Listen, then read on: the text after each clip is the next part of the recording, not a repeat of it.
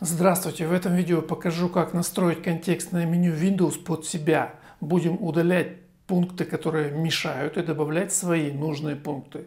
Сделаем это с помощью специальной бесплатной программки и вручную. И под конец устроим даже маленький blackout.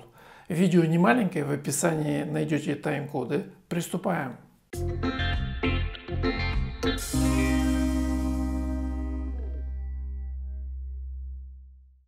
Если Теперь давайте попробуем отредактировать контекстное меню вручную. Будем использовать реестр Windows. Редактирование реестра сделать очень легко, но неправильные действия могут привести к непредсказуемым последствиям. Прежде чем делать что-либо, обязательно подстрахуйтесь и создайте хотя бы точку восстановления системы. У меня есть пара видео на эту тему, посмотрите ссылки в описании. Можно также создать резервную копию системы. Эти видео также найдете в описании. Кроме того, можно сделать резервную копию реестра целиком, но в восстановлении такой копии есть свои тонкости, и это не тема сегодняшнего видео. Если вы никогда не работали с реестром и не уверены в своих действиях, возможно вам не стоит делать то, что я покажу. В любом случае обязательно подстрахуйтесь точкой восстановления или резервной копией. Итак, чтобы изменить контекстное меню, запускаем редактор реестра. Для этого можно нажать на кнопку «Пуск» и напечатать на английском языке слово regedit.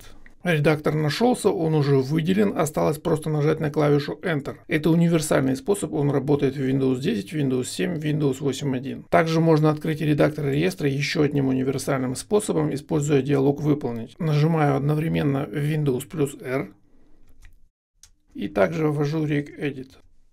Нажимаю Enter, здесь кнопочку «Да», редактор реестра перед нами. Ближе знакомиться с реестром Windows будем не в этом видео. Все, что нам нужно сейчас, это открыть несколько нужных параметров. Почему-то многим пользователям не нравится вот этот пункт «Отправить» в контекстном меню файла. В десятке появился еще один пункт «Отправить», вот этот сверху. Многие также спрашивают, как его удалить. Также многих интересует, как удалить пункты установленных приложений и программ, например, WinRAR или других программ. Многие также задают вопрос, как удалить пункт «Проверка с использованием Windows Defender». Я не думаю, что есть смысл удалять все эти пункты, но покажу, как это сделать, а вы сами решите, какие из них вам нужны. Постараемся не удалять, а просто скрыть их, чтобы можно было легко вернуть назад. Итак, чтобы удалить нижний пункт «Отправить из контекстного меню», вот этот, нам нужно открыть вот такую ветвь.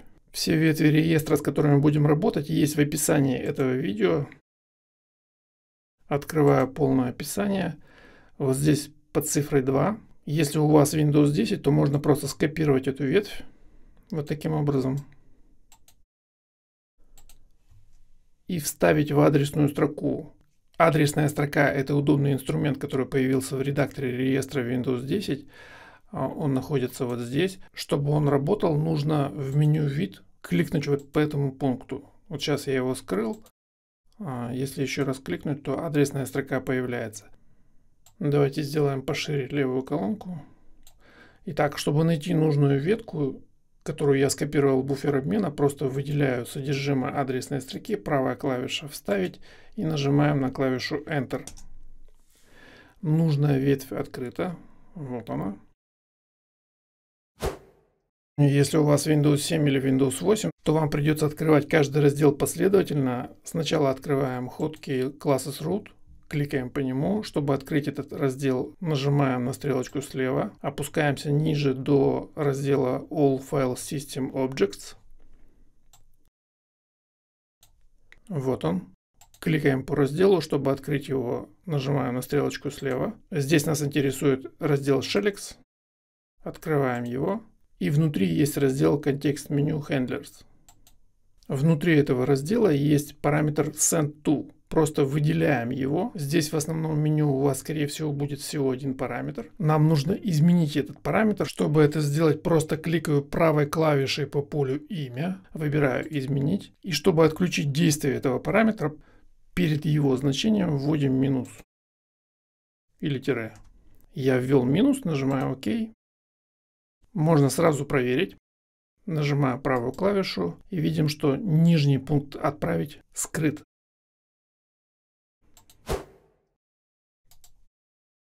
Теперь избавимся от еще одного непопулярного пункта. Он также называется «Отправить». Он находится в верхней части меню. Для того, чтобы сделать это, открываем следующую ветку. Снова hotkey classes root. Открываем. Далее нас интересует вот этот раздел, который обозначен звездочкой. Открываем его. Далее снова раздел Shellex. Открываем. И контекст меню Handlers. В этой папке нас интересует сразу несколько объектов. Во-первых, раздел Modern Sharing. Это и есть верхний пункт «Отправить». Просто кликаю по нему, кликаю правой клавишей по полю «Имя», «Изменить» и делаю то же самое. Проверяем. Верхний пункт «Отправить» также скрыт. Если вы хотите избавиться от архиватора WinRAR, в контекстном меню, то это можно сделать также в этом разделе. У меня 64-разрядная операционная система, поэтому меня интересует вот эта папочка WinRAR. Если у вас 32-разрядная версия, то вам нужно редактировать эту папку. Порядок действий тот же самый. Выделяем нужную папку на параметре правая клавиша «Изменить», минус, окей, проверяем. Мы скрыли WinRAR из контекстного меню файл.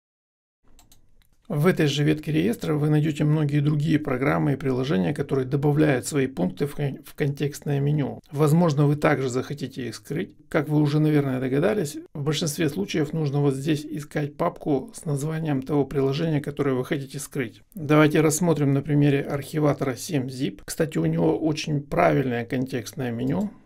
Мы видим, что у него всего один пункт, и при наведении на него появляется дополнительное удобное контекстное меню. Так что, на мой взгляд, этот архиватор уж точно нужно оставить здесь.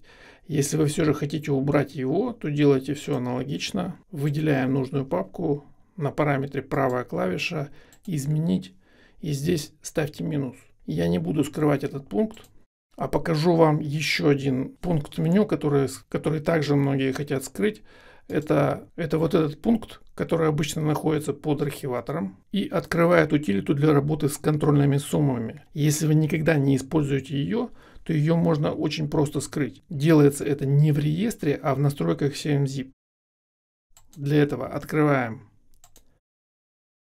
7zip File Manager, то есть просто открываем приложение в меню пуск.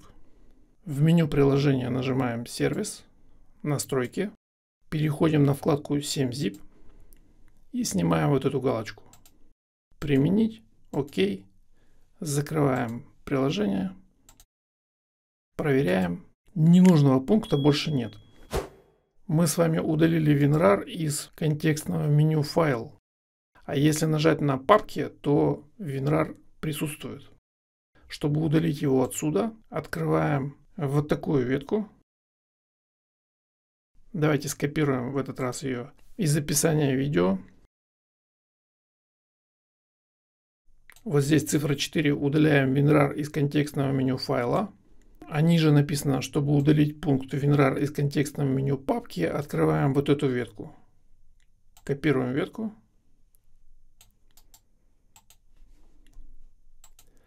Выделяем то, что здесь у нас в адресной строке. Правая клавиша «Вставить». Нажимаем на клавишу Enter. Вот наш нужный пункт. Он уже выделен. Правая клавиша на параметре «Изменить». Ставим минус. Сохраняем. Проверяем. WinRAR скрыт. Любой из тех пунктов, которые мы только что отредактировали, можно вернуть обратно. Для этого снова выделяем нужный параметр. Изменить. Убираем минус. Нажимаем ОК и нужные пункты на месте. Последним удалим пункт проверка с использованием Windows Defender. Для этого выделяем опять ту же самую ветку hotkey classes root.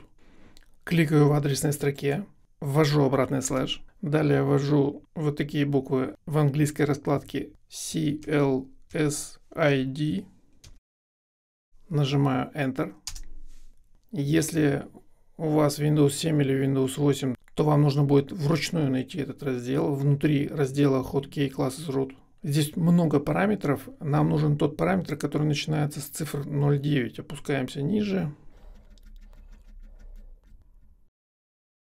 Нам нужен вот этот параметр 09A47860. Его можно найти быстрее. Просто кликаем сюда, вводим обратный слэш, ставим фигурную скобку и вводим это число 09A47 и нужный параметр найден.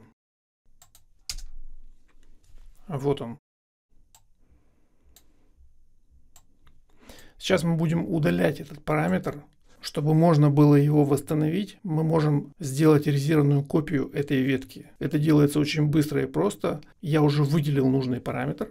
Нажимаю «Файл», «Экспорт». Сохранить эту ветку можно куда угодно, например, в документы. Давайте оставим документы. Когда вы выбрали место, куда будете сохранять, обратите внимание вот сюда на диапазон экспорта, что вы сохраняете именно выбранную ветвь. Вот здесь она целиком.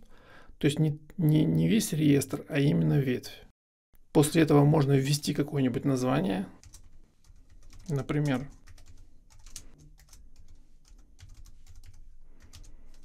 я вот так вот назвал пункт меню защитник Windows, то есть чтобы понятно было в будущем, что это такое, нажимаю сохранить. Готово. Мы сохранили эту ветку и теперь ее можно удалить. Правая клавиша удалить. Здесь подтверждаем. Проверяем.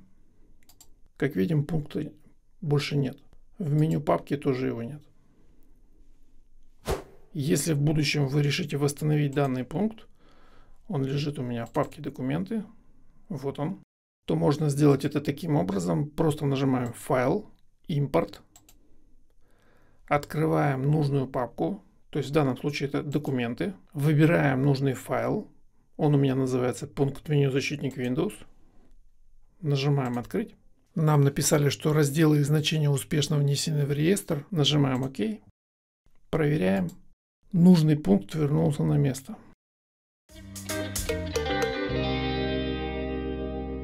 Если вы заметили какие-то подвисания или глюки при открытии окон, нажатии на пункты меню «Пуск», панели задач, открытии файлов, то первое, что приходит в голову, перезагрузить компьютер. Иногда это бывает неудобно. Прежде чем перезагружать систему полностью, можно попробовать перезапустить проводник. Проводник как раз занимается тем, что показывает нам все перечисленное выше в графическом виде. Посмотрим это на примере. Я запущу диспетчер задач. В Windows 10 это можно сделать вот так. Правая клавиша на кнопке «Пуск», диспетчер задач.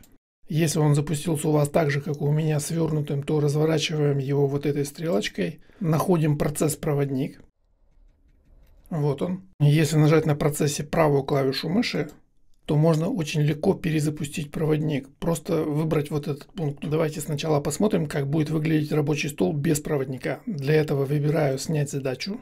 Как видите, в диспетчере задач особо ничего не изменилось, а рабочий стол куда-то делся. Перед нами теперь черный экран и указатель мыши.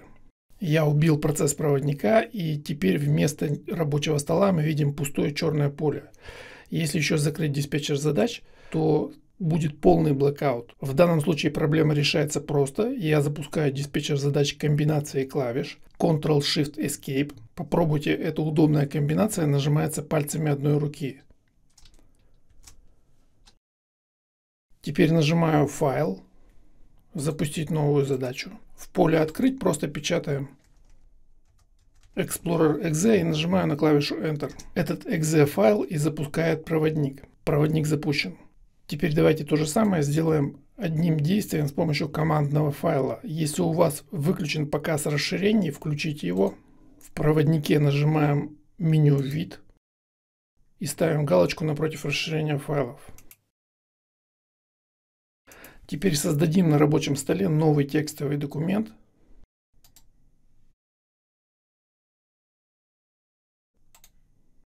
Открываю его и печатаю здесь вот такую последовательность команд.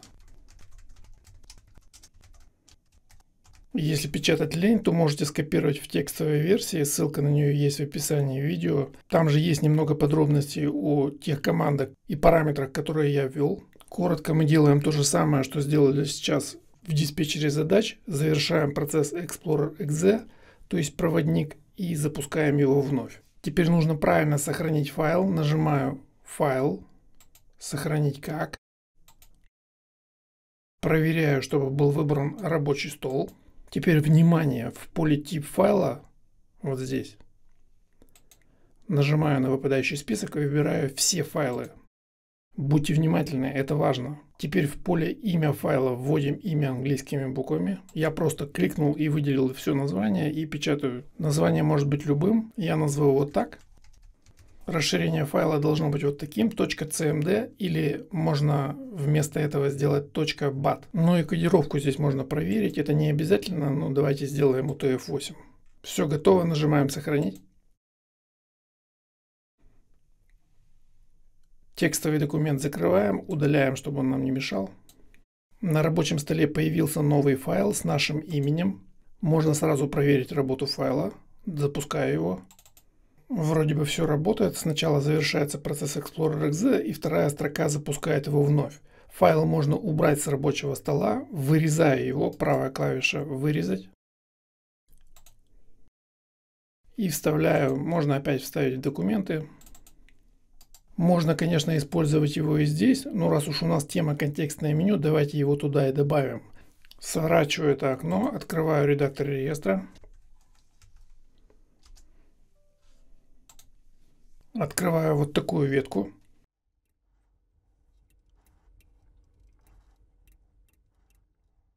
HK Classes Root, директории Background Shell. Нажимаю на разделе Shell правую клавишу и выбираю Создать раздел. Можно назвать раздел как угодно, например, именем любимого исполнителя, но я назову его, например, вот так. Restart Explorer, то есть перезапуск проводника. Обратите внимание, что именно это название будет красоваться у вас в контекстном меню. Его можно сделать и на русском языке. Написать, например, перезапуск проводника или что-то подобное на ваш вкус. Но мне кажется, так гораздо лучше. Можно демонстрировать близким и друзьям новый пункт в контекстном меню, нажимать на него, делать при этом загадочное лицо и немного надувать щеки. Итак, я назвал раздел, нажимаю Enter. Теперь на новом разделе снова нажимаю правую клавишу Выбираю «Создать», «Раздел». Здесь пишем уже совершенно конкретное имя. Command, нажимаю Enter. В этом разделе у нас уже есть пустой параметр. Нажимаем на нем правую клавишу и выбираем «Изменить». В поле значения нам нужно ввести путь до командного файла, который мы только что создали. Можно прописать путь вручную, но гораздо удобнее воспользоваться небольшой хитростью. Открываю папку с нашим файлом. Путь именно до этого файла нам необходим. Чтобы легко скопировать путь, нажимаем на клавишу Shift. На клавиатуре удерживаем ее и кликаем по файлу правой клавишей мыши. В контекстном меню находим пункт «Копировать как путь». Этот пункт появляется только при нажатии на Shift. Кликаю по нему. Мы скопировали путь до файла. Осталось вставить его в поле значения реестра. Сворачиваю это окно. Правая клавиша «Вставить». Нажимаю ОК.